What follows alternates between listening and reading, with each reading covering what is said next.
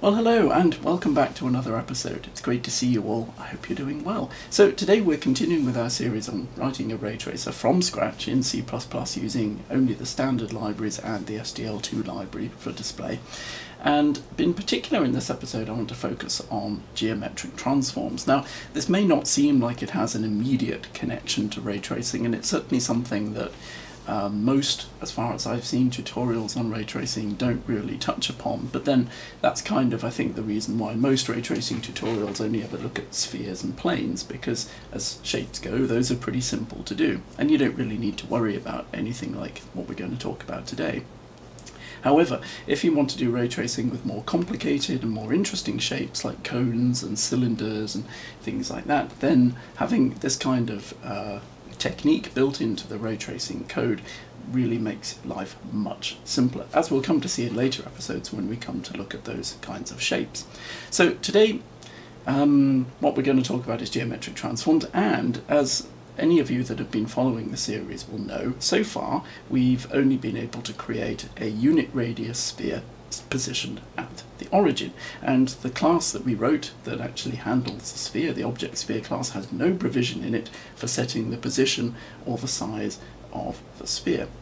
And this does seem extremely limited, and I, I dare say some people have have uh, considered that to be a major limitation and have probably wondered what on earth I'm, I'm doing, why am I wasting my time with this? Anyone can make, you know, put the coordinates for the centre of the sphere into the sphere equation and use that that way. Indeed, that is how I did it in the last version, the first version I made of this series uh, many, many months ago. But the reason I've done it that way is that what we're going to do is actually define all our objects in their own local coordinate space. And that is what we've done. We've defined our sphere in its own coordinate space. So it's always centered at the origin in its own coordinate space. And then what we're going to do is define a geometric transform that defines the mapping between the local coordinate space of an object and the world space in which that object exists. And that mapping then defines the transform that says where that object should go in the scene, in world coordinates, but also it can define things like scaling and rotation and things like that, which is obviously very powerful. And where that becomes extremely powerful is that we can define uneven scalings if we want. So we can distort our sphere, as you can see in the image here. We can distort it so we can stretch it in one axis or two axes, and we can create a variety of different shapes simply by adjusting the scaling factor in our geometric transform. So this is an incredibly powerful approach. There's quite a lot to go over today, so I've got a feeling this is going to be quite a long episode. Um, we'll see how it goes. There, there is quite a lot of code to write to make this work, and also I want to take the time at the beginning just to go over the theory, um, really, of how geometric transforms work. So we've got a lot to cover, so not going to talk too much anymore now, we're just going to jump into it. Um, just leaves me to say, as I always do, that if you do like this video, please do remember to hit that like button. It really helps with the YouTube algorithm, so thank you very much. And if you haven't done so already, please consider subscribing to my channel so that you don't have to miss any future videos. Thank you very much. Right, without much further ado, I suggest let's jump to it and let's start by looking at the theory of geometric transforms and then we'll move on to looking at how we can implement that in code and then make that part of the ray tracing code that we've been developing so far. Okay, let's go.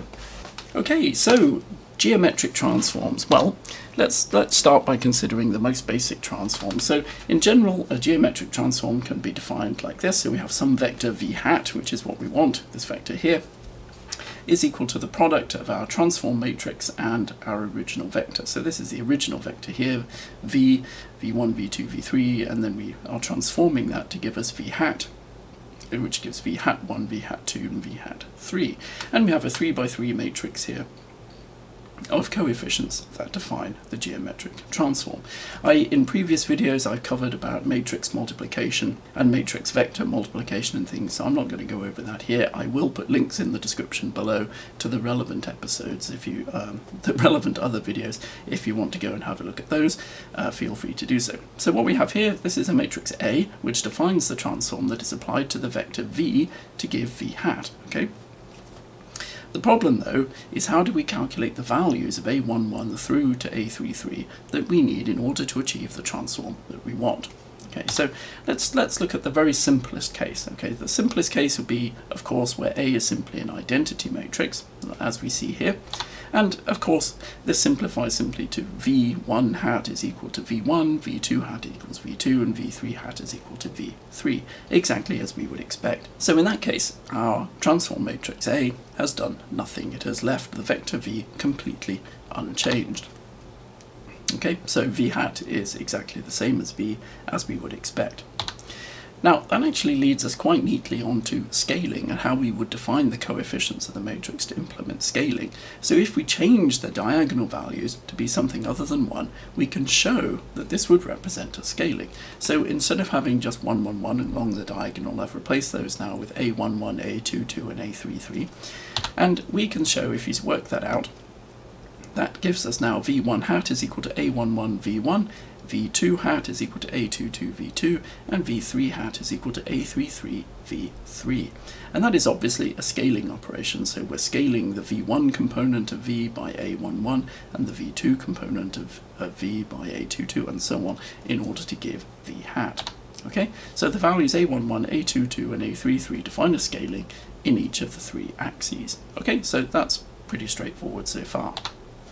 Alright, scaling is easy, but what about other transforms such as rotation? Well, let's look at rotation in just two dimensions to start with. So a two-dimensional vector can be rotated using what we see here. So we're replacing, so two dimensions, so we have just two uh, values for v hat and for v, and we have a 2 by 2 matrix for our transform, which contains the coefficients of cos, cos theta, or cosine theta, minus sine theta, sine theta, and cos theta just like so. So that's well known, I'm not going to talk about the derivation of anything like that. So, And that of course equates to v1 hat is equal to v1 cos theta minus v2 sine theta, and v2 hat is equal to v1 sine theta plus v2 cos theta where theta of course is the angle of rotation. And this will rotate the original vector v hat about the origin to give a new vector v hat, okay? Okay, so, I mean, 2D is easy, we all know about that, right? But what about rotations in three dimensions? Now, in the two-dimensional case, there is only one axis about which we can rotate. So points in 2D space essentially lie on a plane, so it makes sense that the only axis about which we can rotate them is the axis perpendicular to that plane, as shown in the illustration at the bottom here, where the large white arrow represents the normal to the plane, or a vector perpendicular to the plane, and any points lying in that plane, the only angle we can rotate them about is an angle about that vector, as you can see. Okay. But in three dimensions, there are three axes about which we could rotate. We could rotate about the x-axis, about the y-axis, or indeed about the z-axis, as you can see here. So we have three angles that represent our rotation. And just as a quick note, this is only one way of describing uh, rotation in three dimensions. There are a variety of other ways of doing it.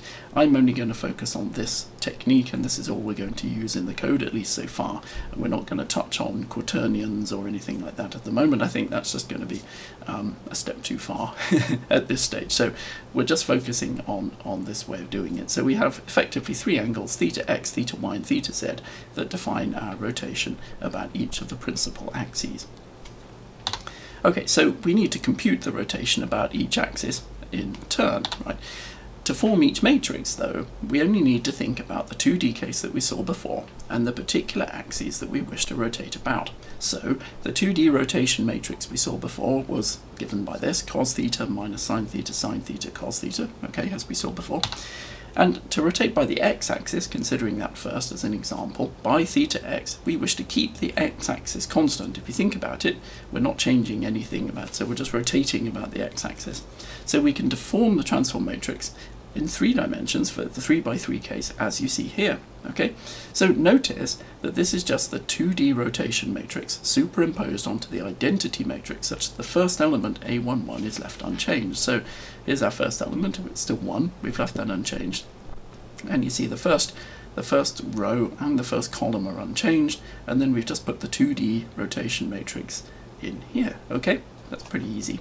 And it follows that the other two axes are similar, so that then gives us the rotation matrix AX for X, as we just saw, and then AY becomes this one, and AZ becomes this one. Okay, so you see in each case, if AX we're keeping A11 constant, AY we're keeping A22 constant, and AZ we're keeping A33 constant. Okay, and you can see that works. It's important to note the order of the signs, they do change a little bit Um, and that is because we're using uh, the right hand rule to define our rotations. Again, I'm, I'm not going to go into that uh, in any depth uh, for this video right now. Okay.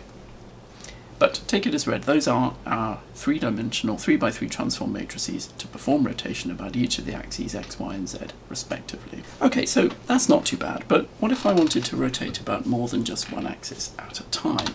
Well, luckily we can combine the transform matrices together by simply taking the matrix product. So our complete rotation in all three axes would be given by A is equal to AZ theta Z times AY theta Y times AX theta X, which of course then looks like this. So we have the transform matrix for Z, the transform matrix for Y, and the transform matrix for X. Now I've covered matrix multiplication in a previous video, um, so I'll put a link to that in the description below. I'm not going to talk about it anymore or in any detail here, so if you're interested in that or you want to know more, then go and check out the other video and uh, you can learn more about that. Okay, okay. so what makes this method so incredibly powerful is actually the way that we can combine transforms together into a single transformation matrix. So we can combine scaling with rotation in just the same way that we combined all the rotations together. So here we have our scaling matrix Sx, Sy, Sz along the diagonal as we saw. And then we have our transform matrix for theta z, a transform matrix for theta y, and transform matrix for theta x. And we can take the product of all of those to get one single 3 by 3 matrix that will then combine the rotation in all three axes with the scaling as well. Now that's incredibly powerful because it makes it very easy then to work with that as just one matrix. So in which case the new vector v hat would simply be given by v hat is equal to a times v, where a is the combined transform matrix. And this would rotate v by theta z, then by theta y, then by theta x, and then finally apply the scaling. Note the order in which the transforms are applied, that is quite important. But wait, I hear you say, what about translation? Now, of course, you'd think translation would be the very simplest case of uh, uh, geometric transforms, and indeed, really, you would be right. This is a very good question, actually. Of course, to translate a vector by another vector, we simply add them together, giving so v hat is equal to v plus uh, T, where T is our transform matrix with elements Tx, Ty, Tz, defining uh, the translations we want in the x, y, and z axes respectively. So that's incredibly simple. If you if you work that out, of course that gives v1 hat is equal to v1 plus tx, v2 hat is equal to v2 plus ty, and v3 hat is equal to v3 plus tz. Exactly what we would expect. Now that's really easy. But what would happen? How? What if we wanted to be able to combine all of our transforms together into a single matrix. And that's really what we want to do. But how can we include translation? Because there's nothing here that we can do by just taking the matrix product. We don't have a 3 by 3 matrix here that defines the translation. We just have another vector. So what can we do? Well, luckily there is a way that we can combine translation with all the other transforms using what are known as homogeneous coordinates. Now I'm not going to talk about those in any detail, we're simply going to use them. There's a lot of extra information about homogeneous, coordinate, homogeneous coordinates out there. Um, you can just search for it and, and read about it. They're really used for doing perspective transforms and things like that and have various very powerful properties, but we're only interested really today in one property that they have, which is the way that they allow us to create a transform matrix that defines a translation that we can then combine with the transform matrices for scaling and rotation that we've already seen. So let's have a look at how that works. Now, to make this work, we need actually to add an extra element to our vector v, okay, which then becomes v equals v1, v2, v3, and 1. So whereas before v was um, a 1 by 3, um, a three-element vector, a three-dimensional vector. What we've done now is change v to be a four-dimensional vector simply by putting an extra element in which is equal to 1. Okay, And we can modify our transform matrices in a similar way to make them 4 by 4. Okay, so A11 through to A33, that's the original 3 by 3 transform matrix that we had, and all we've done is added an extra row and an extra an extra row, sorry, and an extra column that are in both cases equal to 0, 0, 0, 1. Okay, so in effect we've just expanded the identity matrix, okay, by adding the extra column and the extra row, as you can see there, right? Now, to include a translation, we can modify A as follows. So we'd have A11 through to A33, the original transformation coefficients, and now we can actually put Tx, Ty, and Tz that defines our translation in X, Y, and Z respectively over here in the last column, making sure that we leave this lower diagonal element here equal to 1. And of course the bottom uh, row, um, the first three elements all equal to 0. Okay, so let's just have a look at actually how that works. Well, if we replace A11 through to A33 with the identity matrix, so we don't want any transformation except for translation.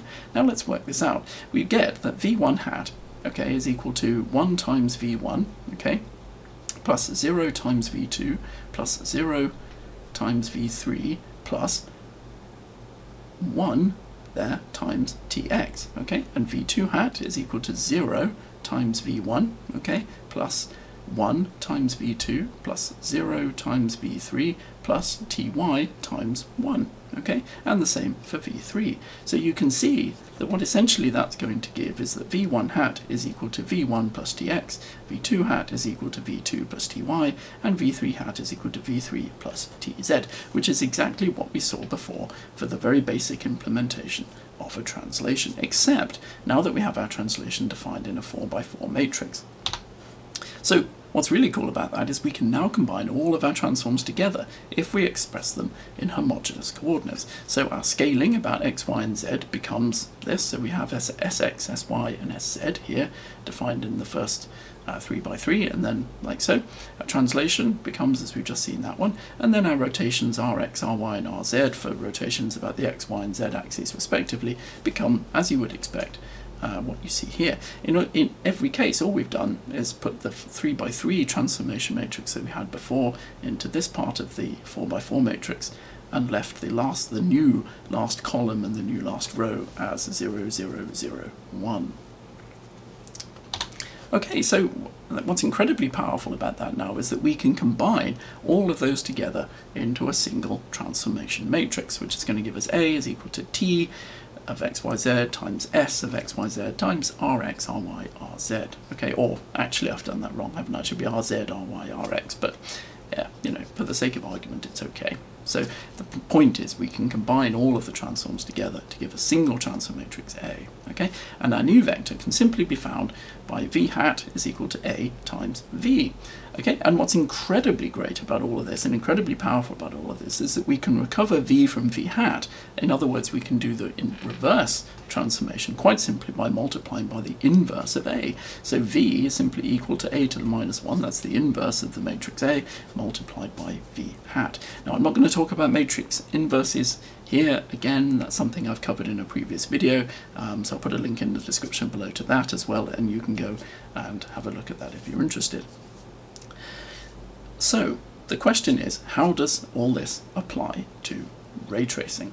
So we've seen that we can create a 4x4 matrix um, to represent our transformations, and we can combine the individual individual geometric transforms together to create one single matrix and we can find the compute the inverse of that matrix if we wanted to do the transformation the other way. So we can go from one in other words we can go from one coordinate system so we can go from our local coordinate system to our world coordinate system and then we can use the inverse of a to go back from world to local okay that's really important and very powerful and we will see more actually about why that's so important when we come to look at the code later but just first let's just say how does this actually apply to ray tracing. What we actually have is a situation like this. So we have so far defined uh, our written our ray tracing code to work just for a unit radius sphere centered at the origin, which looks something like this.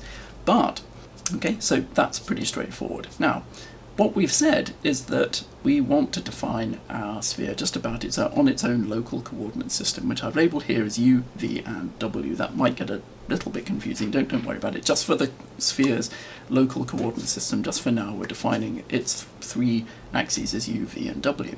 Now those u, v and w um, vectors exist within our world coordinate system labelled here as x, y and z, shown with having a considerably larger range. And what happens is, is our geometric transform defines how we can map between the local coordinate system and the world coordinate system. So for example, we can define a translation which would move our uh, sphere uh, to somewhere else in the scene. Now notice that the sphere is still defined at the origin of its local UVW coordinate system. And this is why we've written the code the way that we have. Okay, so we don't need to worry about modifying the sphere equation to include the location of the center because all we're going to do is define a geometric transform that translates the local coordinate system to where we want it to be in the world coordinate system.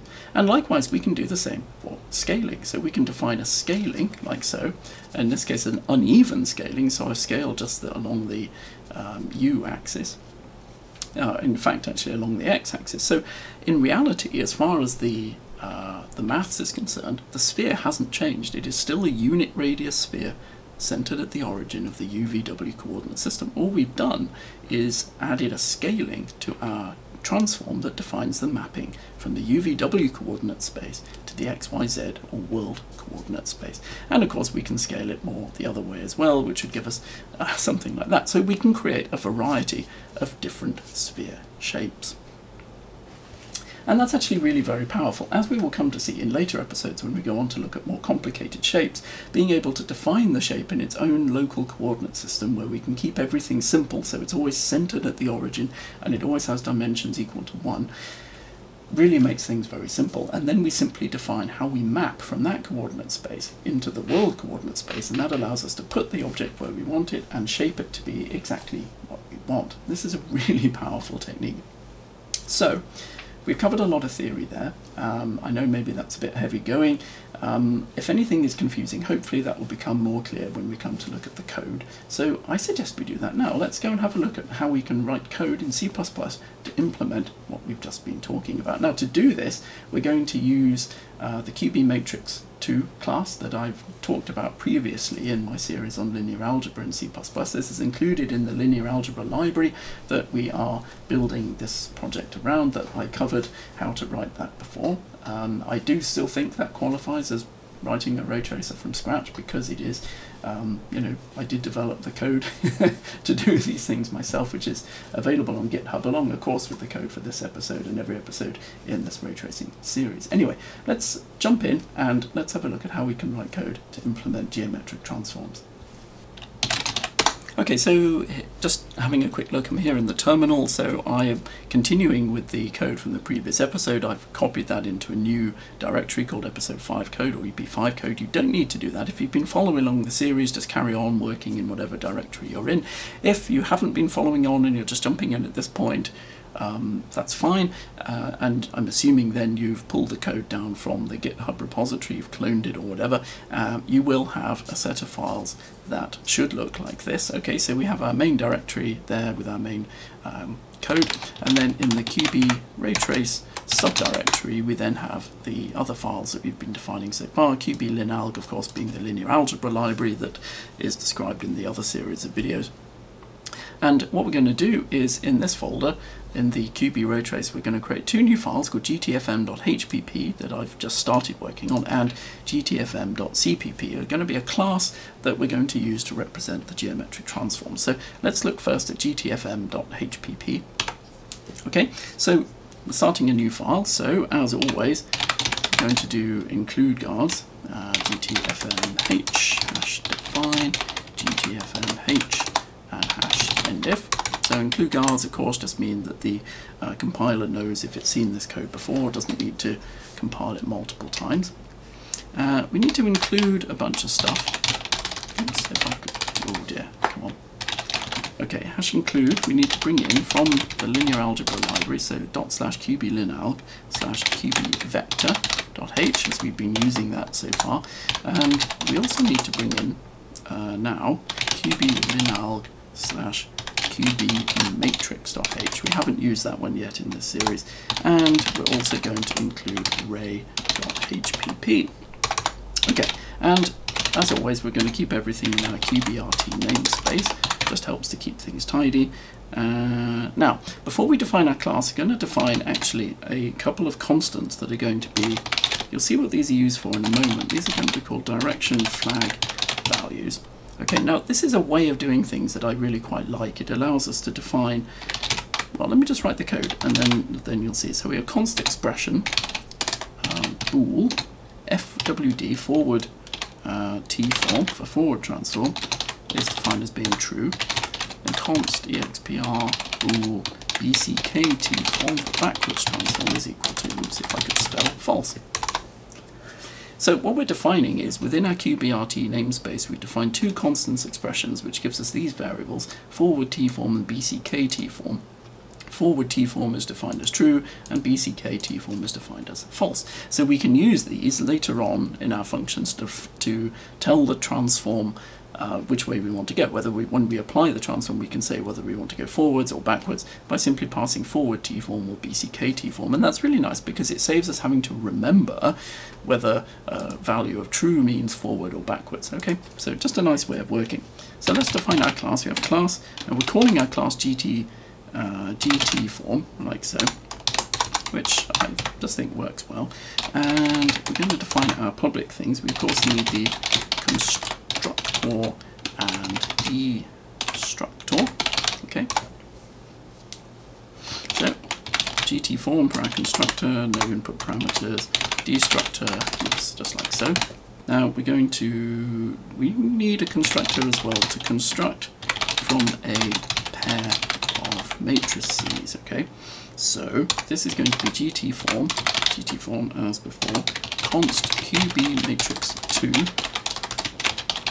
so it's called QB matrix 2 because it's for two-dimensional matrices specifically. Okay, um, forward and const QB matrix 2 type double uh, reference BCK. Okay, so we can construct from two matrices that represent the forward and backwards transforms respectively.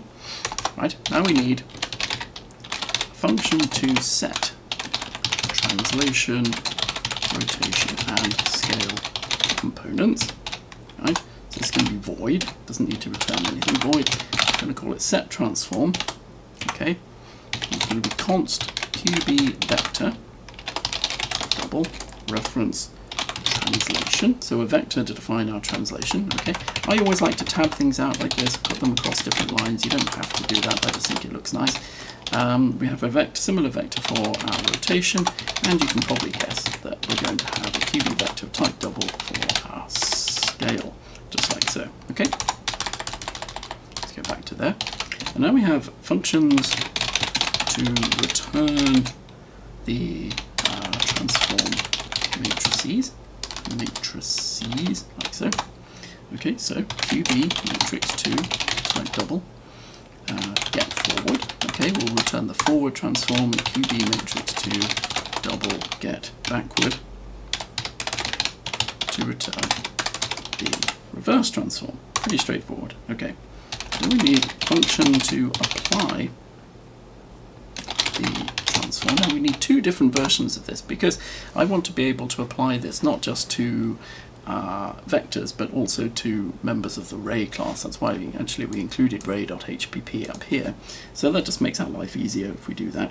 So we have qbrt colon colon ray, that's our return type, of course, which belongs to the qbrt namespace. Our function is called apply, and it accepts as input const qbrt colon colon ray reference input ray and now bool dir flag. Now this is what I was talking about before. So dir flag we can set to either FWD form or BCK form, and it just makes it easy to see whether from the code, uh, when anyone's reading the code back later, or even when we're writing it, it just helps us remember. So true will mean the forward transform and back BCK form, or false is going to mean the backward transform, okay? We'll see how that works uh, a little bit later. We also then need one to apply to vector. So have QB vector, um, type double, apply, and const uh, QB vector, type double reference input vector, and bool dir flag. Okay. So we've overloaded the apply function of two different types. So one, if we pass a vector to it as input, it returns a vector as output, and one, if we pass a member of the ray class to it, it returns a member of the ray class as output, which is um, what we want. We also need to overload some operators, in fact only one really.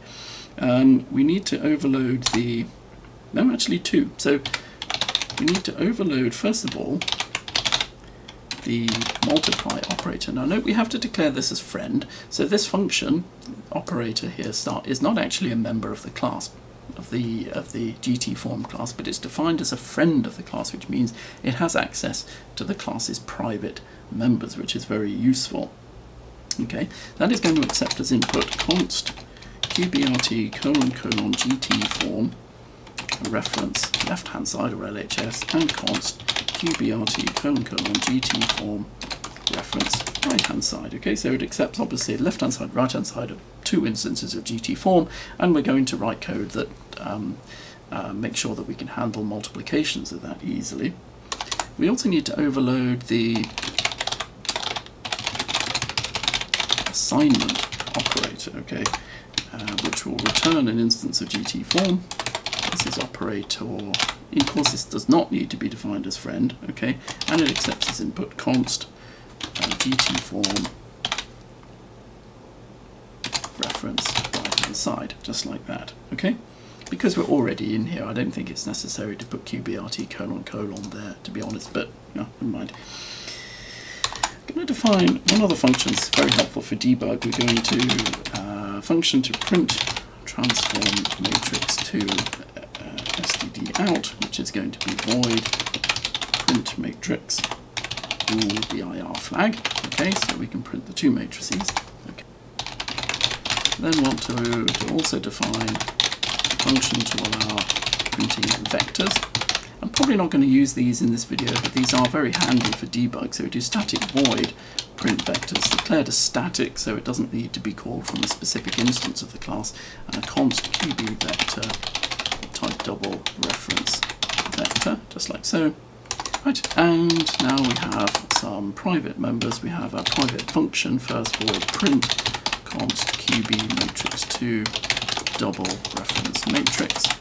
We'll see why we need that later. And then we have just a couple of private members, qb matrix 2 type double m underscore fwdtfm, which is defined as being 4 by 4 of course, and qb matrix 2 double m bck tfm also 4 by 4 Okay, so we're there 4 by 4 because we're using the homogeneous coordinates as we've seen before, and we need a semicolon there at the end of the class definition, and that should be that. So let's save that. Now let's move on to having a look. How would we actually implement this in C++ code? So let's have a look. Okay, so I've created a new file that's called gtfm.cpp in the same directory as, directory as before, and all we need to do is hash include gtfm.hpp that we've just been working with. We need to define our constructor and destructor destructor pair, of course. So qbrt colon colon gt form colon colon gt form. This is the constructor. Now we do actually need to do things, some things here. We are going to set forward and backward transforms to identity matrices, okay? It's a good idea just in case, you know, someone tries to do something with it before defining anything. We don't just want to leave them as all zeros. So we just need to do m underscore forward dot set to identity, and that is taken care of by the QB matrix 2 class, which of course I've talked about in the other video. I've mentioned about that before. There is a link in the description below, of course. And we do the same for BCK TFM as well, set to identity, just like that. Okay. Now the destructor, we don't really need any code in there, but we have to define it anyway. Tilde GT form, like so, and we don't need anything there. Right. We have our function also to construct from a pair of matrices. Okay, so it's qbrt colon colon gt form colon colon gt form because it's a constructor const qb matrix 2 double reference forward and const qb matrix 2 double reference bck4 backwards. Okay. Now we're going to do a little bit of code here just to verify capital verify that the inputs are for R4x4. Now I often miss out doing verification code and things in these videos, but it is a good idea um, to do. So anyway, we can do it easily. If forward.get num rows is not equal to 4, oops, I need an extra bracket there. Okay, like so. Or it's double pipe forward dot get num cols is not equal to 4. Okay, or and again I'm tabbing things out just to make it nice. bck dot get num rows. I'm guessing you can see where we're going with this now. Ooh. Put that back there and double pipe and bck get is not equal to 4. Okay.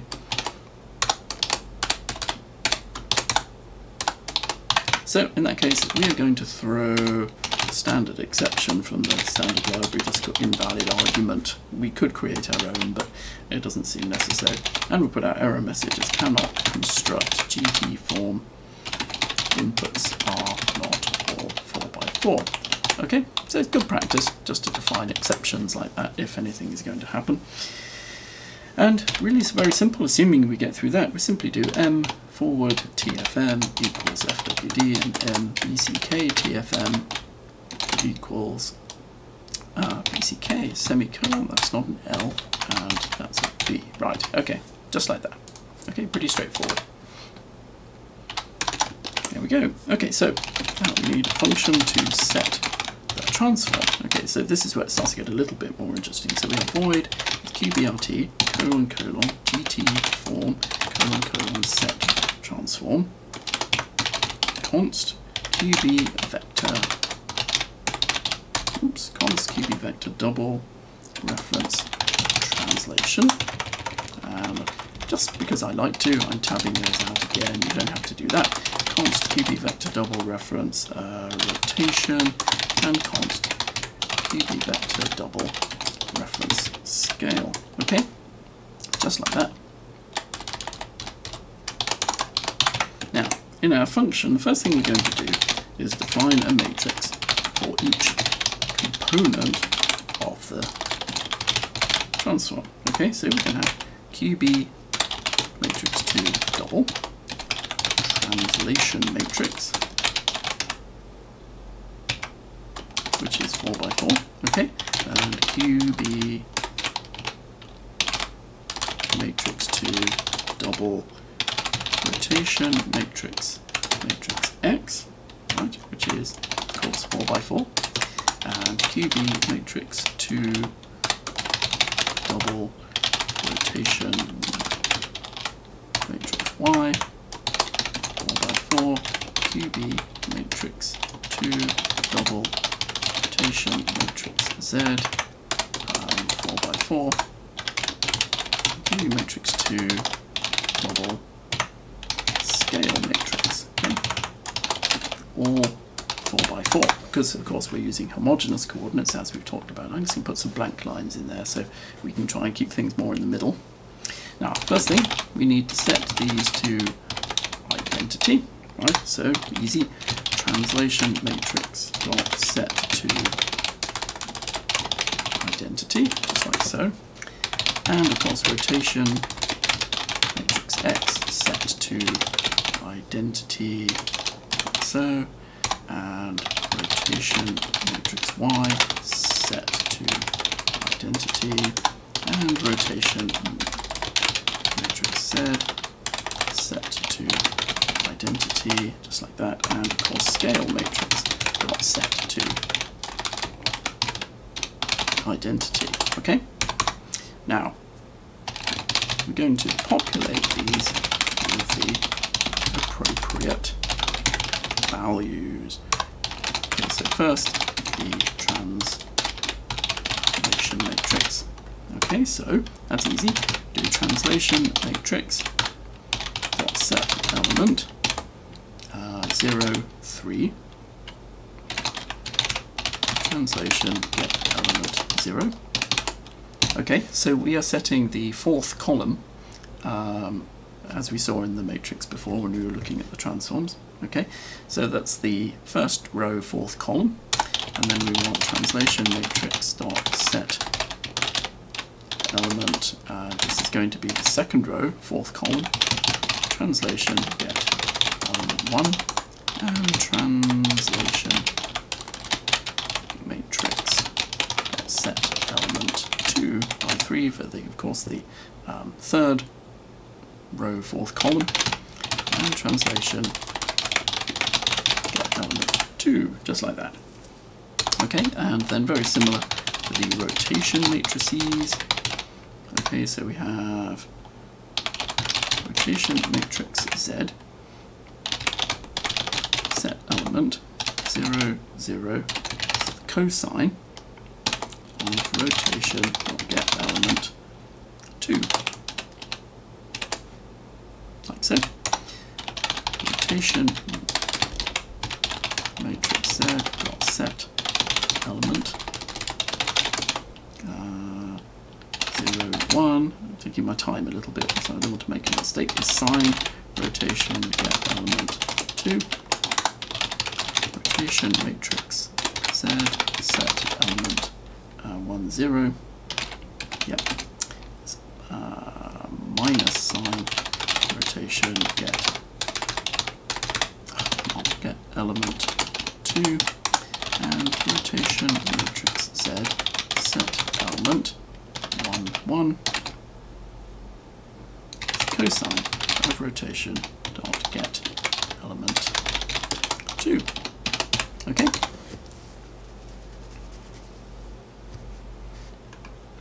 Now what we're going to do, this code is actually very similar for x, y and z, so I'm going to do a bit of copying and pasting and we're going to change it. So this is going to be rotation matrix y. And we are going to set elements, now we have to get these right, 0, 0, 0, 2 and 2, 0 and 2, 2 and the signs are co, cosine, minus sine sine, sine, cosine, just like that. Okay, and this one is going to be x. And set elements starting from 1, 1 to 1, 2, 2, 1, and 2, 2. Okay, and we cosine, sine, minus sine, cosine. Those are already right. Now, we do need to change these as well. So there we're getting from element 2 of rotation, these are going to be element 1, and these will be element 0. Okay, there we go. Good use of copy and paste there, I think, otherwise it's a lot. And finally, we have to also do the scale matrix.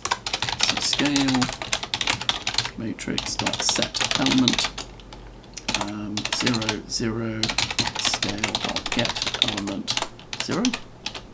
Okay, scale matrix dot set element um, 1, 1, scale dot get element 1, and scale matrix dot set element 2, 2, scale get element 2, just like that.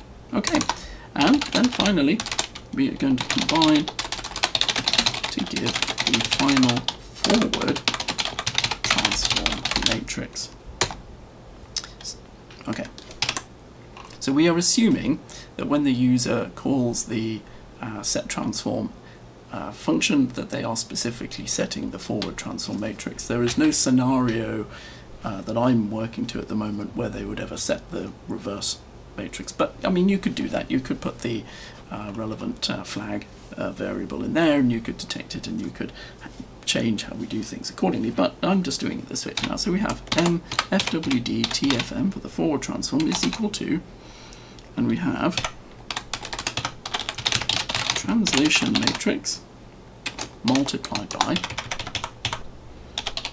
scale matrix. There we go. Scale matrix multiplied by rotation matrix x. Rotation matrix x multiplied by rotation matrix y multiplied by rotation matrix z.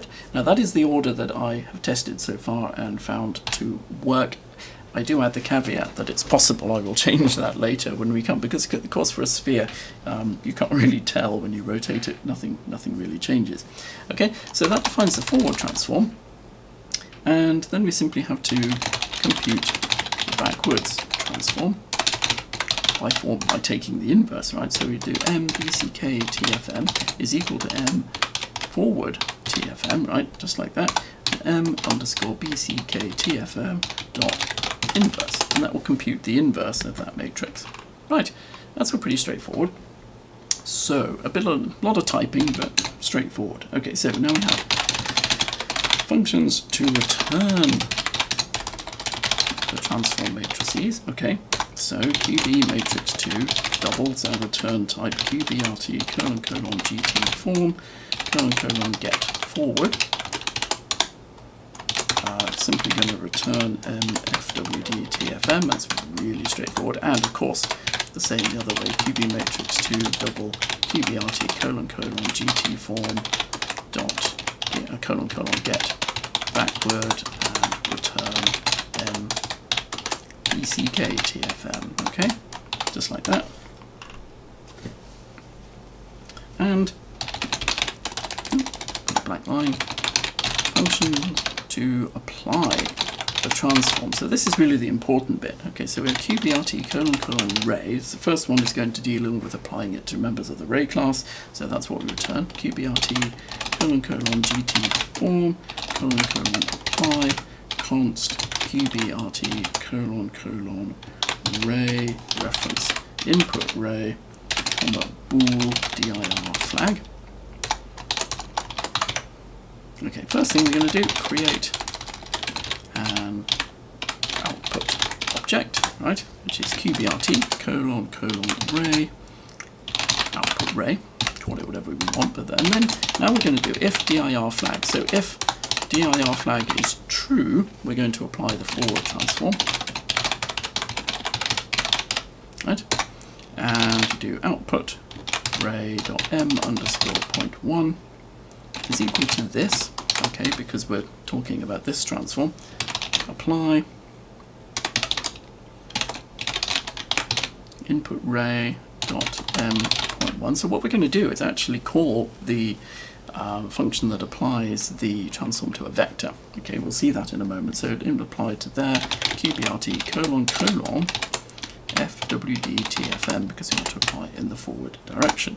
And we do output ray dot m point 2 is equal to this, dot apply. Input ray dot m point 2 qbrt colon colon fwd tfm output ray dot m lab We've talked about the ray class before and, and, the need to do this, so I'm not going to mention it again. Output ray dot m point two minus output ray dot m point one. Okay, and then if the dir flag is false, meaning that we want to apply the backward transform, then we do very very similar code. Of course, output ray dot m point one is equal to this.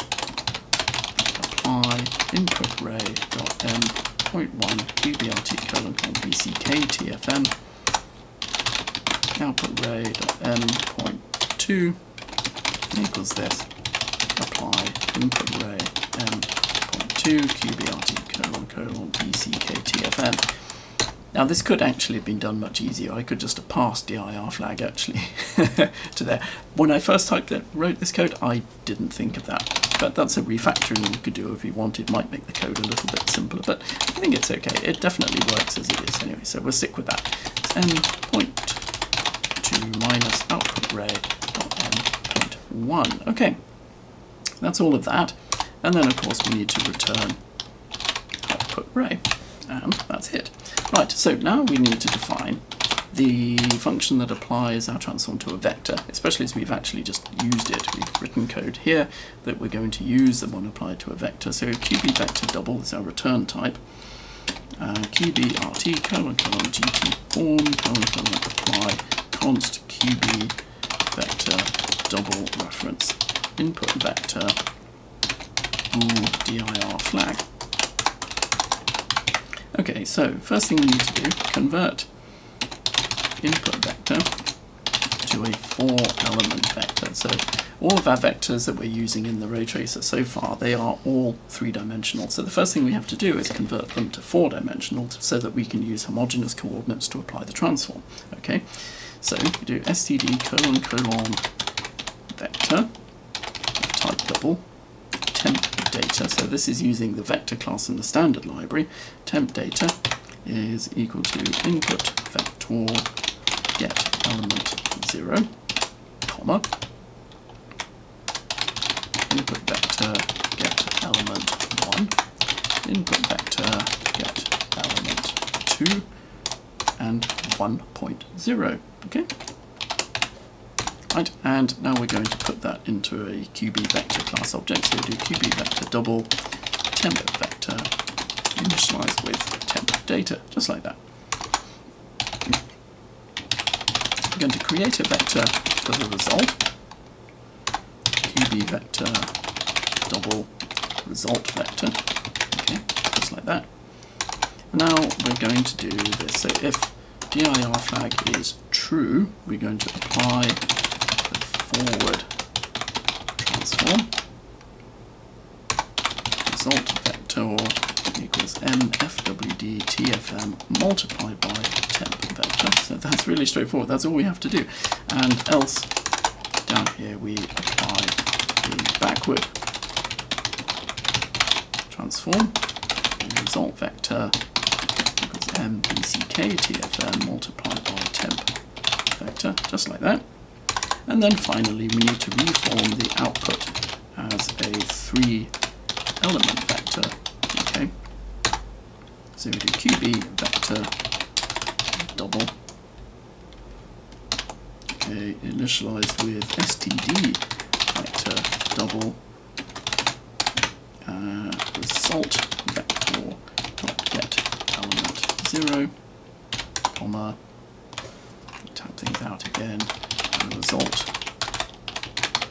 vector get element one, and result vector get element two.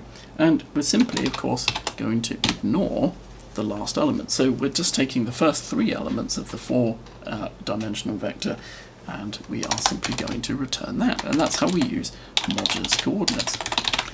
Return output vector. Okay, pretty straightforward. Okay, so now we need to talk about overloaded operators.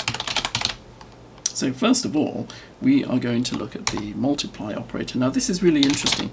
We have to specifically define this as being in the QBRT namespace. Okay, now we don't normally have to do that within the CPP file, but we have to do it here because otherwise the compiler has no way of knowing that we, because we defined it as a friend, um, it doesn't automatically belong to the QBRT namespace, which means if we don't specifically tell the compiler that this is within the QBRT namespace, then it causes all sorts of problems when we try to use it because it doesn't know, you know, it doesn't actually have access to the private members in the way it's supposed to do. So we have to specifically do that and we define cross qbrt colon colon gt form operator multiply const qbrt colon colon gt form. Reference left hand side and const qbrt colon colon gt form. Reference right hand side just like that. Okay the first thing we're going to do is form the product of the two forward transforms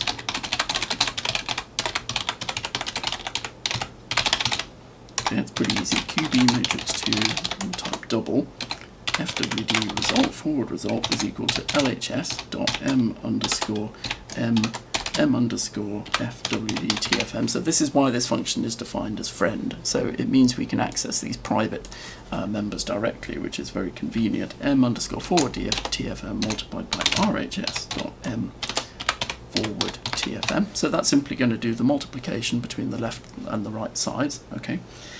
Now the interesting thing is we are going to compute the backward transform as the inverse of the forward transform.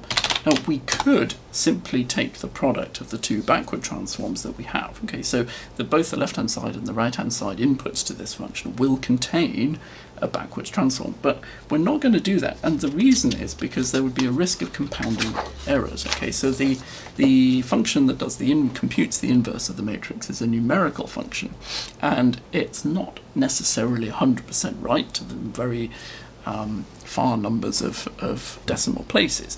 And what that means, if we were to simply to take the backward transforms and multiply them together, there's a danger that we'll be compounding errors that have cropped up. So what we're actually going to do is simply take the product of the two forward transforms and then compute the inverse of that.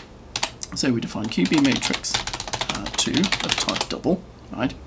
A BCK result is equal to forward result to start with, right? And then we're going to do obviously BCK result dot inverse to compute the inverse of that. And now we need to form the final uh, result. From the final result, which is going to be QBRT colon colon GT form, uh, final result, FWD result, and BCK result. That is really the only time where we're going to need to use this form as a constructor, to be honest, but uh, there we go. And then we simply return that, return final result. Okay, there we go. That's that one. We need to also overload the assignment operator.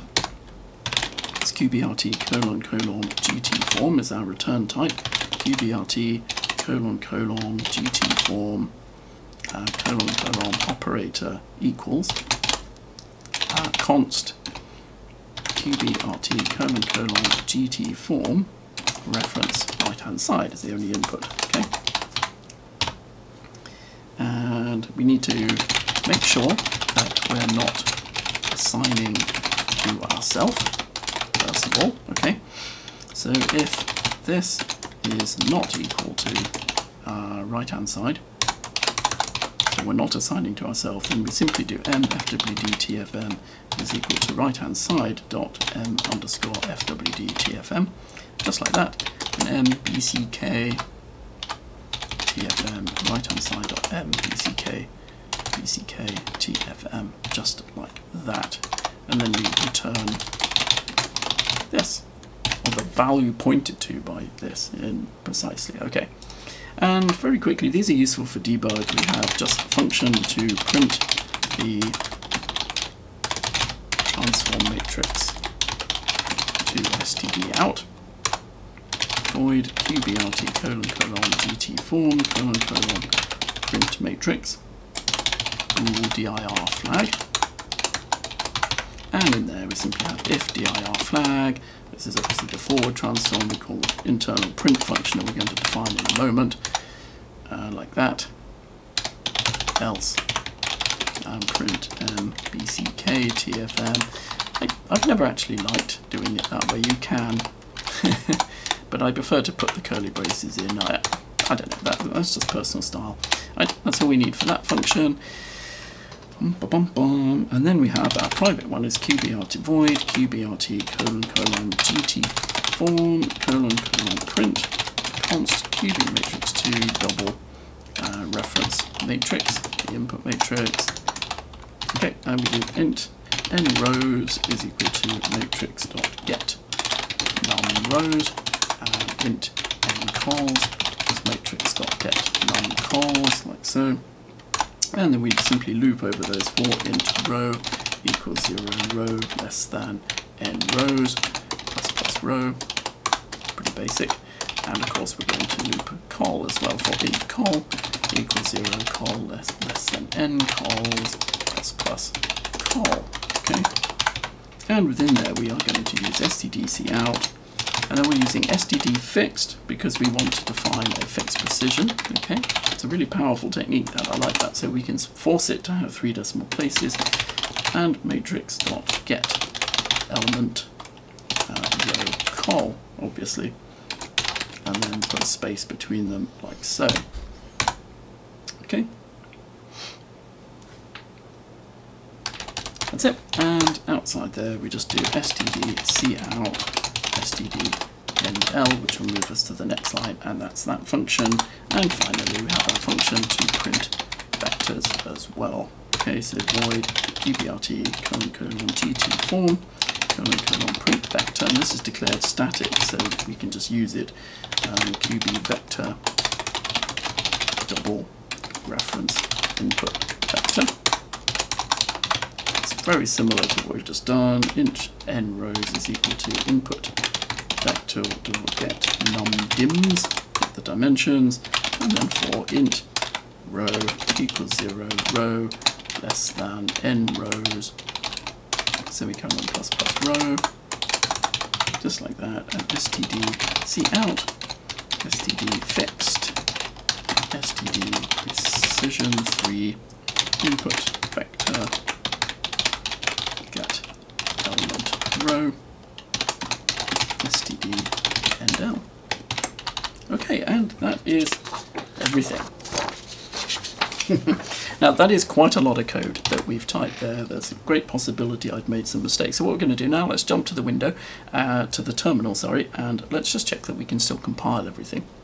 Okay, so at my terminal, if I do ls minus l, we can see we have gtfm.cpp and gtfm.hpp. I'm going to go back to the uh, root folder here, and I'm simply going to use the make file that we've talked about before that should run and do the compiling. I had run make clean before, uh, and predictably we have a bunch of errors. Let's just have a look. So that looks a pretty basic one in the constructor gtfm.cpp line 26. Let's have a look at that. so in gtfm.cpp line 26, there we go, yes, that should be a semicolon, save, let's try again. Right, uh, the next error oh yeah, of course, that should be m underscore, so that is line 88 in gtfm.cpp. So let's have a look at that, line 88, there it is, of course, that is obviously an m, sorry about that. Let's try again. Yeah, we're getting there. Uh, is not a member, it should be Yes, yes, of course. At line 111, 112. So I've got that wrong everywhere. 118, 119. Okay, we can look at those. So we defined those uh, in our header file. Forward. They are, of course, forward T form and BCK T form. So let's just have a look where where have I used those. Uh, ba -dum, ba -dum. Yeah. Forward T form. Sorry. BCK T form and BCK T form. I think that's probably it. Yeah. Alright, save that. Let's try again. Okay, getting there. Output vector was not declared. Did you mean input vector? No, I didn't. Uh, line 154, let's look at that. 154 return output vector. Oh right, yeah, see? output vector. Okay, and adjust the tabbings like so. So we compute output vector and we return output vector, right? Uh, print, did you mean print? Yes I did, line 198. And precision is not a member. Okay, alright, let's have a look at that. So let's look at line 198 first. 198, print is of course a capital P and precision isn't working because, hmm, hang on a mo, obvious one, it is std colon colon uh, set precision like so. Now the reason we can do that, we haven't included anything extra to make those work, and the reason we can do that is because that's brought in through the QB Matrix 2 um, header file. So okay, let's save that, and hopefully now if we go back to our terminal, we should be able to compile without errors.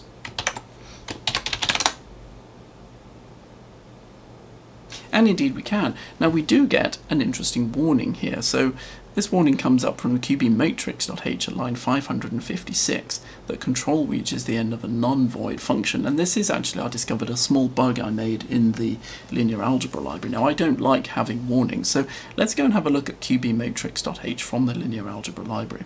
Okay, so this is the qbmatrix2 class. So let's just whiz down to that line 556 556 is here. Okay. And the problem, this is interesting, this is in the overloading of the assignment operator, and what I did, I put return star this inside this block of code. So this is the block that checks whether we're assigning to ourselves, and the problem is that even in the instance that we are assigning to ourselves, we still need to have a return value. But we fix that very simply by moving return star this out of that block and just put it at the end of the function and save that. And now if we compile our main code, yeah, let's just uh, make sure, because that's only a header file so it doesn't get picked up. Run make clean, run make, let it run through and compile everything. Okay, and everything compiles without errors, and if we run our QBRay code, we get exactly the image that we had before. Of course, because all we've done, we've defined our class for geometric transforms, but we haven't actually used it for anything yet. So the next thing that we're going to do is we're going to move on to looking at how we can modify our code, firstly to allow us to do multiple objects, and then secondly to actually implement the transform class that we've just been talking about. Okay, so we've had a look at uh, the code that we need to actually implement the geometric transforms, and of course we've looked at the theory behind those geometric transforms. So what we need to do next, in order to be able to actually use geometric transforms, we need to modify some of the code that we've written previously um, in the series. And we're going to start by looking at the code for the object base class, because that's going to actually take care of our um, geometric transform uh, matrix. It's going to store the geometric transform object that we're going to use. Uh, so let's jump in and have a look at that now. Okay, so I'm here in the objectbase.hpp file, um, as you can see there, that we've developed previously in this series. And you can see at the moment this contains the code, uh, really the sort of basic things, a test intersection function that we're going to use, and also um, a, a public uh, data member there to store the base color of our object. Again, something else that we're not actually using specifically at the moment, but we will um, as we move on. So the first thing that we need to change here is that we need to include our new class. So we need to hash include uh, gtfm.hpp, okay, for our geometric transform class that we've just been working on. And we then need a function to, I'm going to put this in here, function to set the transform matrix. Okay. Okay, so we have our function which we're going to use to set the transform matrix that is just void. It doesn't need to be virtual because we're not going to override this um, for any of our objects. And we're going to declare virtual void, no, void set uh, transform matrix and this is going to accept as input const qbrt colon colon gt form reference transform matrix. So it's not actually a transform matrix, we're accepting as input a reference to a GT form object. Okay? So let's save that, that's everything we need there. And then we're also going to need to store the geometric transform applied to the object. Okay, so it's qbrt colon colon gt m underscore transform matrix. Semicolon, just like that. Okay, so that's all the modifications we need to objectbase.hpp. So let's move on to objectbase.cpp and see what we need to do there. Okay, so this is objectbase.cpp, and we don't need to make very many changes here. The only thing that we need to do is actually define our function here, um, void uh, qbrt, qbrt colon colon object base colon colon set uh, transform matrix, like so, uh, const qbrt colon colon gt form reference transform matrix, just like so. And all this needs to do is m transform matrix equals transform matrix, just like that. Okay, so that is everything that we need to change for object-base.hpp and object-base.cpp. So to actually make this work, we need to make some changes to uh, our sphere class. Okay, so in object so in objectsphere.hpp, uh, there isn't a whole lot of code here. Um, all we need to do here is hash include uh, gtfm.hpp. We'll bring that in there. We're not actually going to use it. And the one thing I have just noticed, this should have the override keyword at the end of the function declaration for test intersection. I don't know why I missed that off. It didn't seem to stop it working, but it should be there, so we'll save that. Okay, now let's move on to objectsphere.cpp.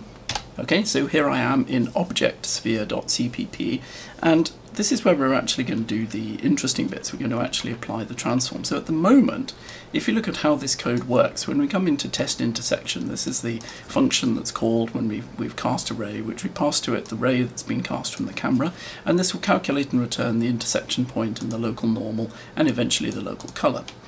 And what it does is simply take the ray and then it does the necessary maths on that ray directly. Now what we're going to do, instead of doing that, before we do any of the maths to test for an intersection, we are going to apply the geometric transform to the cast ray. Now the reason we do that, the cast ray is in the world coordinate system, but we've defined our object, our sphere, in its own local coordinate system, where it exists at the origin and it has a radius of 1. But we want to be able to put it anywhere we want in the scene and have any radius we like, even um, you know, uneven scaling on the different axes. And the way we do that, as I've said before, is we have to transform between the two coordinate systems. So cast ray exists in the world coordinate system.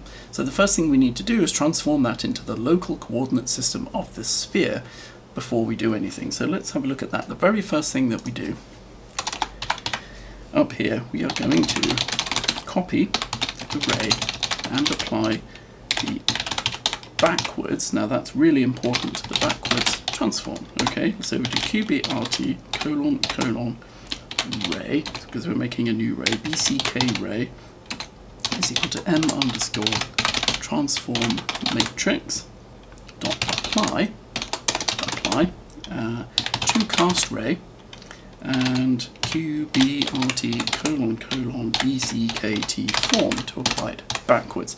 Now it's really important that we are applying the backwards transform. So when we specify the transform matrix, you know, for example, suppose we want the sphere positioned at um, 111, the vector 111, that's the transform that we send, 111, okay? But when we apply this to the cast ray, we want to do the transform the other way, because we're transforming from world coordinates back to the local coordinates. So 111 in that case, in this example, would dictate the transform from local to world. So to go from world to local is the inverse of that, okay? So that's why we're using the backwards transform or the BCKT form uh, transform there. All of the maths and everything there stays exactly the same. The only difference is that from now on, we're not working on cast ray, we are now working on BCK ray. Okay, so all of these references to cast ray, we simply change to BCK ray. And here, and here. Okay, so where we need to make a change is all of the basic maths is the same. All we've done is change cast ray to BCK ray. And what we're going to do now is we're going to create a new QB vector object called POI, semicolon, there's a for point of intersection. And then rather than calculating the intersection point directly, as we've done, we replace this with POI, and this one as well. Okay, so POI for point of intersection, and of course we replace cast ray with BCK ray, like that. Okay, and save, right? So what that now gives us, point of intersection tells us the location of the intersection in the local coordinate system. So this is where it gets really interesting because that's in local coordinate system. We need to transform that back now into world coordinates to understand where the point of intersection actually occurred in the scene. Okay, so we do this. We transform the intersection point back into world coordinates. Okay we do int point. Okay, so we're now calculating intersection point here is m underscore transform matrix dot apply to POI uh, QBRT colon colon FWDT form. So that's really important. So here we're applying the transformation in the other direction. So we here we applied the transform to go from world coordinates to local, and here we're applying it to go from local coordinates to world coordinates. Okay. Now we need to do a little bit of other stuff here now to compute the local normal as well, because obviously things have changed, our sphere may not be a sphere anymore, so we have to do a little, few little things here. We do, first of all, QB vector double object origin. We need to calculate where the origin is. Okay, now in its, actually that's always in the same place, uh, in its local coordinate system. So all we're going to do is initialize a new QB vector object to 0, 0, 0, like that. That is object origin. Okay. And then we can apply the transform to that to give new object origin is equal to m transform matrix apply object origin qbrt colon colon fwdt form for the forward transform. Okay, and then local normal is is now going to be intersection point minus new object origin. Okay? And then local normal dot normalize exactly as we had before. And one additional change I want to add code to return the base color. Okay? So simple. Local color equals m underscore base color.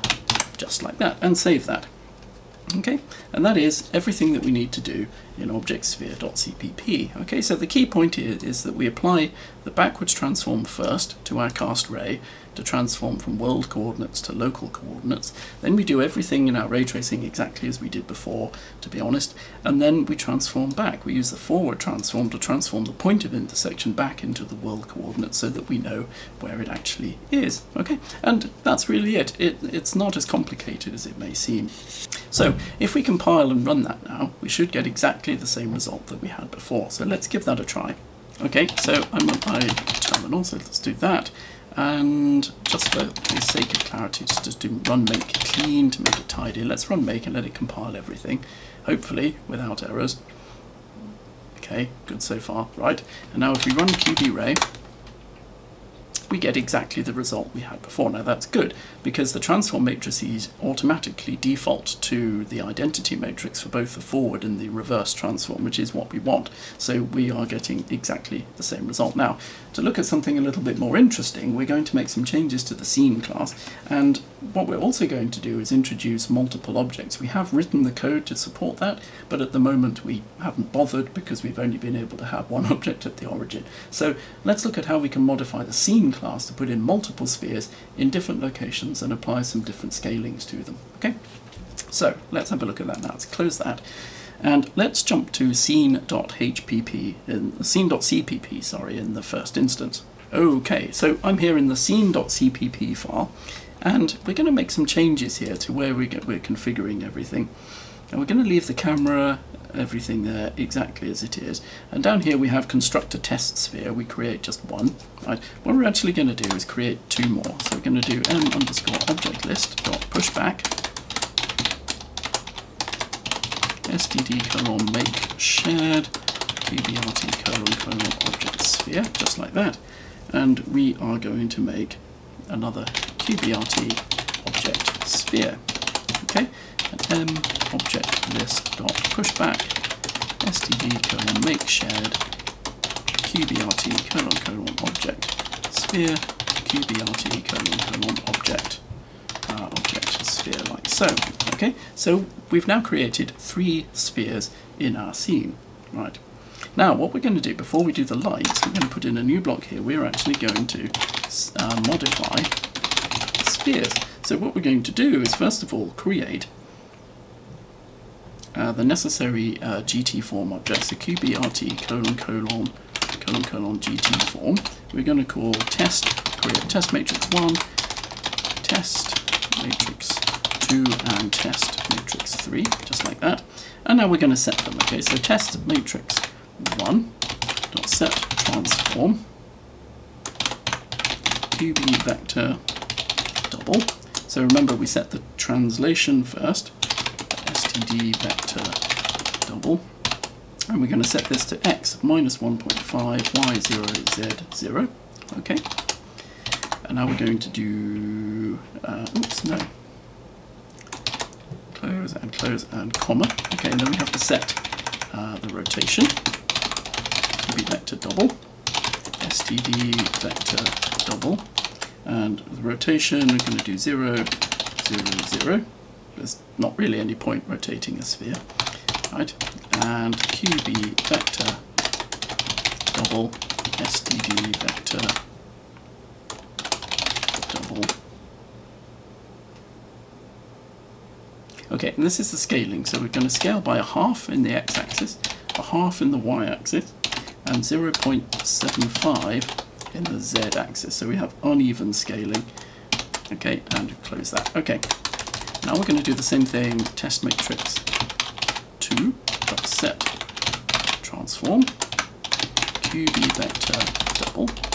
Std vector double. And we're going to set the translation. This is at 0, 0, 0, so that will be in the center, comma, and we need to set the rotation, which will just be 0, 0, 0, of course.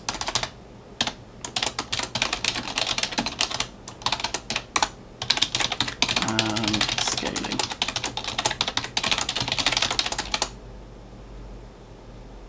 Okay, we're going to do this one at 0.75 in the x-axis and 0.5 in the y and z axes respectively.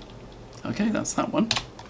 And test matrix 3, set transform qb vector double std vector double. Okay, and put this on to 1.5, 0.0, 0.0, so shifted the other direction in the x-axis and qb vector double std vector double rotation zero of course like so. And qb vector double std vector double. And we are going to scale this by 0.75 0.75 0.75 so an even scaling. Okay and now we need to actually apply those transform matrices to the objects. So we're going to do m underscore object list dot at zero, it's the first one, and set transform matrix and test matrix one, m object list dot at one, set transform matrix test matrix two, and m object list dot at two set transform matrix test matrix three. Okay, and I'm going to modify the colors as well because we've made it a bit more interesting. Why not make the objects in different colors? So we also have m object list dot at zero uh, dot uh, m base color. We just set it specifically is equal to qb vector double std vector double, and we're going to pass 64.0, 128.0, and 200.0. Okay, and then object list at one, m base color qb vector double std vector double, and this one will be 255.0, 128.0, and 0.0. Now it's worth interesting, worth pointing out actually at the moment the RGB values we are specifying between 0 and 255 which kind of makes it pointless using floating point, um, especially double precision as we are doing. But when we come to look, probably in the next video, when we're going to look at planes and shadows, we're going to look at actually how we modify the image class that we're using to handle the image data to scale things properly automatically. And once we do that, then we will specify these as being values between 0 and 1. But for now, just for the sake of simplicity, we're sticking to uh, this format. Um, so object list at 2, m base color equals qb vector double std vector double, and this one is going to be 255.0, 200.0, um, 0, 0.0. Okay, so those are blue, orange, and yellow. Okay, and then construct a test light. Let's just save that. Construct a test light, we leave that alone. And down in render, let's have a look. What have we got? Bum, ba, bum, ba, ba. That's we don't make any changes to any of that. We generate our ray as normal, and then we have this will automatically loop through calls calls the test intersection method for every object for each ray and we get back the intensity, color, valid illum sets are false. We loop through all our lights but we only have one at the moment and then we calculate the maximum distance. Now we do need to make some changes here okay So let's have a look. At the moment, we shaded our sphere just to be red and scaled by the intensity, which is this code here. So what we're going to do, we want to change that. For now, let's just comment that out. Yep. Comment that out like so. And we're going to do instead output image dot come on dot set pixel x comma y and we want local color. We're getting local color back. It comes back from here, okay, when we call test intersection. So we're using local color dot get get element zero multiplied by intensity. Okay, I think you can see how that's working, and I'm doing my tabbing thing that I like to do. We get element one multiplied by intensity and local color get element two multiplied by intensity. Just like that, okay? And now, the other thing that we want to do is, in these cases, we don't want to set them to black, we actually just want to leave um, unchanged. So let's just put a comment in, else we leave this pixel unchanged, and also the same here. Leave this pixel unchanged. Okay, just like that. Right, that is everything that we need to change in the scene class. Okay, so if we save that now, now one thing that I just want to do that I just think is a bit better, I want to come up here and I did put the light at, yes, let's put the light at minus 5. I just, just for the sake of it, I think it just looks a bit better. Okay, so let's save that. Now let's go to our terminal, compile and run. Okay, so let's just run make. Okay, and QB-Ray. Yes, and there we go. So now we get three spheres, not just one, and notice how we've applied uneven scaling to them. So we can use the geometric transform method, not just to move a sphere to be somewhere else in the scene, although clearly we can do that, but we can also now modify its shape. So we can scale them and we can apply uneven scaling. So all of these objects, as we have just seen, they are only spheres. There's nothing else going on. They are just spheres.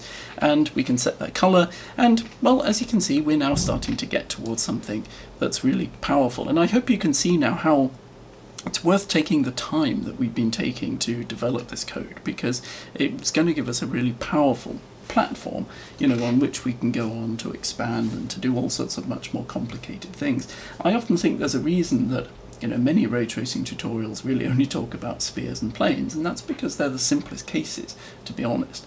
Um, and uh, to do anything else, you really need to start introducing things like the geometric transform class that we've looked at today, and all that sort of thing. So as we move forward, we're going to now look at more complicated things. In the next video, we're going to look at planes and shadows, notably, and we're going to make changes to the image class and things to make all that work properly. And then moving on from there, we'll start looking at more interesting things, reflections and so on, and also different shapes. So it should really start to get a lot more interesting.